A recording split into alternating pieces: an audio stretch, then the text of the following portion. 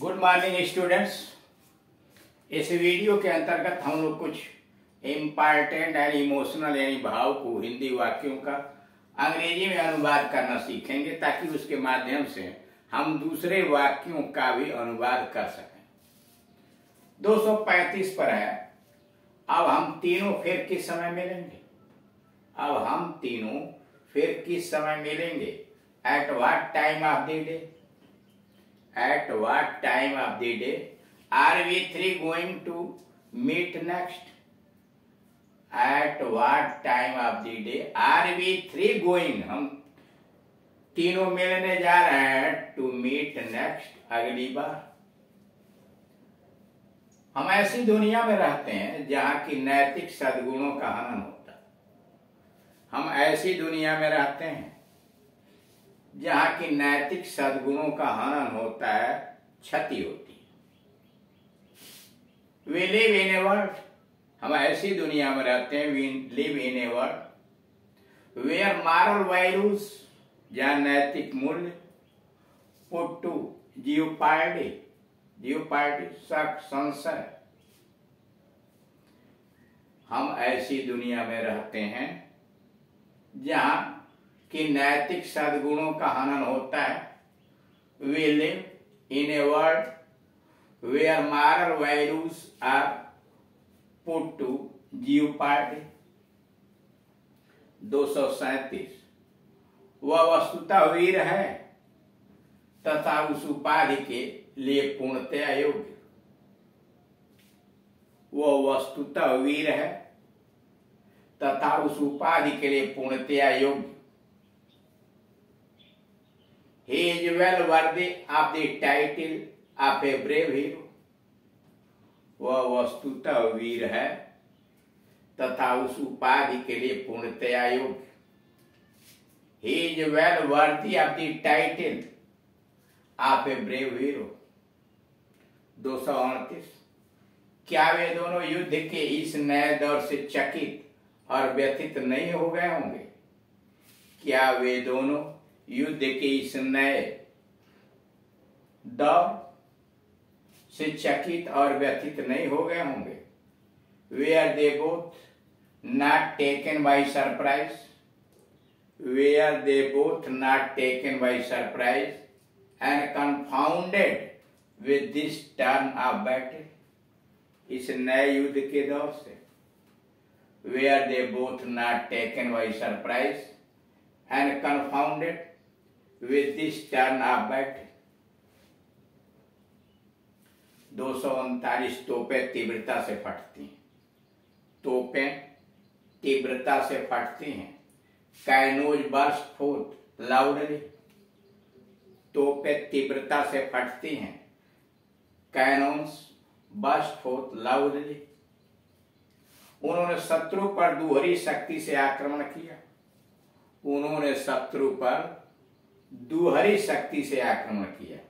They charge and attacked with redoubled vigour redoubled दोहरी vigour साहस। उन्होंने शत्रु पर दोहरी शक्ति से आक्रमण किया। They charge and attacked with redoubled vigour दो सौ इकतालीस मैं अपने खुले घावों के बहते हुए खून के कारण बेहोश हो रहा हूँ। मैं अपने खुले घावों के बहते हुए रक्त के कारण, खून के कारण बेहोश हो रहा हूँ। I am fainting with the loss of blood I am fainting faint मूर्छित होना। I am fainting with the loss of blood which my open wounds are letting out बहा रहे हैं, निकले जा रहे हैं। मैं अपने खुले घावों के बहते हुए खून के कारण बेहोश हो रहा हूँ। I am fainting with the of blood which my open wounds are letting out दो सौ बयालीस। मैं उनकी शीघ्रता से मरहम पट्टी करवा देना चाहता हूँ। मैं उनकी शीघ्रता से मरहम पट्टी करवा देना चाहता हूँ। I wish them to be dressed quickly I wish मैं चाहता हूँ, मेरी इच्छा है डम टू बी ड्रस्ट क्विकली की जल्दी से तेज़ी के साथ उनका मरहम पट्टी हो जाए। मैं उनकी शीघ्रता से मरहम पट्टी करवा देना चाहता हूँ। I wish the to be dressed quickly, दो सौ पैतालीस। झंडे आकाश में उड़ते हैं।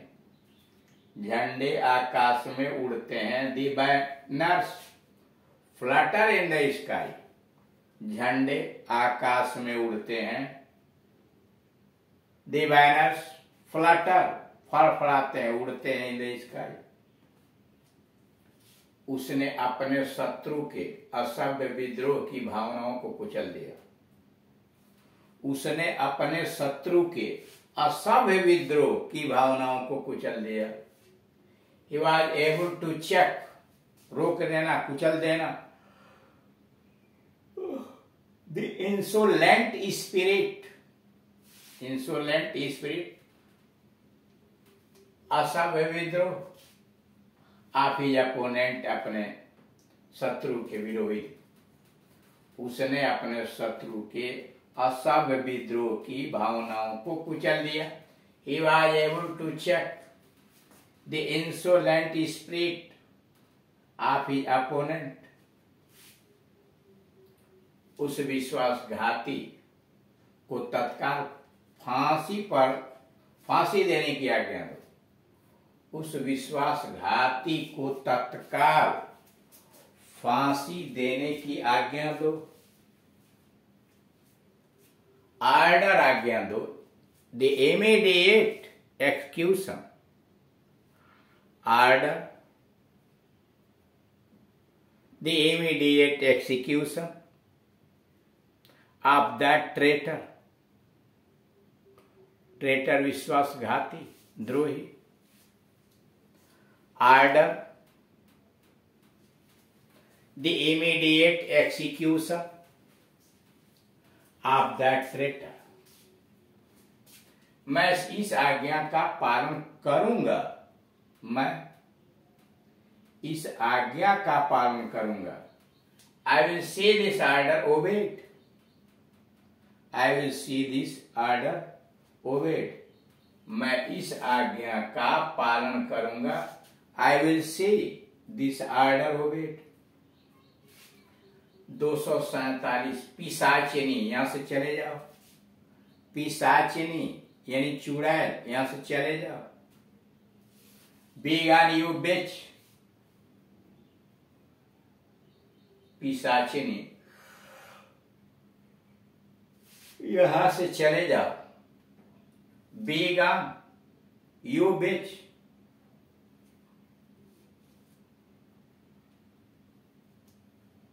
अन्य सभी हवाएँ मेरी सेवा के लिए अर्पित हैं। मतलब मेरे आधिपत्य में, मेरे अधीन है। अन्य सभी हवाएँ मेरे सेवा के लिए अर्पित हैं। I have the rest of the events at my own disposal अन्य सभी हवाएँ मेरी सेवा के लिए अर्पित हैं। मेरे आधिपत्य में है। I have the rest of the events at my own disposal दो सौ उनचास मैं उसे खून रहित करके सूखी घास की तरह सुखा दूँगा। सुखा दूँगी। मैं उसे खून रहित करके सूखी घास की तरह सुखा दूँगा। I will make him I will make him bloodless मैं उसे खून रहित कर दूँगा। गे I will make him bloodless and withered like hay और सूखी घास की तरह से सूखा हुआ बना दूँगा। मैं उसे खून रहित करके सूखी घास की तरह सुखा दूँगा। I will make him bloodless and wither wither सूखा हुआ लाइक हे 250 वह सबके द्वारा परित्यक्त किया जाकर एक अभिशापित व्यक्ति के समान जीवन व्यतीत करेगा वह सबके द्वारा परित्यक्त किया जाकर, यानी सभी के द्वारा त्यागा जाकर, एक अभिशापित व्यक्ति के समान जीवन व्यतीत करेगा he will live forsaken. He will live forsaken by one and all.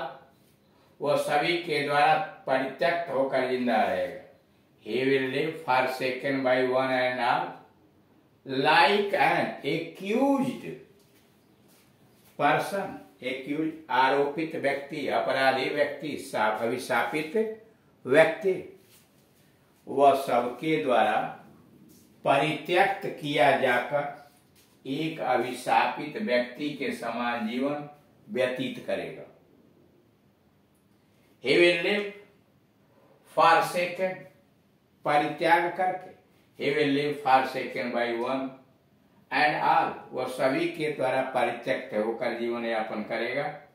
Like an accused person एक अभिशापित व्यक्ति की तरह। इस तरह से आपने देखा कि कुछ महत्वपूर्ण वाक्यों का जो हिंदी में अपने मन की भावनाओं को व्यक्त कर रहे हैं, उनको अंग्रेज़ी में किस प्रकार से ट्रांसलेट किया जाता है, उसकी क्या उपयोगिता है, कैसे हमें अपने दैनिक जीवन के अंतर्गत उनको प्रयोग करना चाहिए, इन सारी बातों के लिए ट्रांसलेशन यानी हिंदी से अंग्रेज़ी का ट्रांसलेशन जानना आवश्यक है। इसलिए कि जितना अधिक हमारे पास साहित्यिक भाषाएँ और चीज़ें होंगी, उतना ही अधिक हम अपने बोलचाल की शैली में और लेखन शैली में कुशल रहेंगे। Thank you.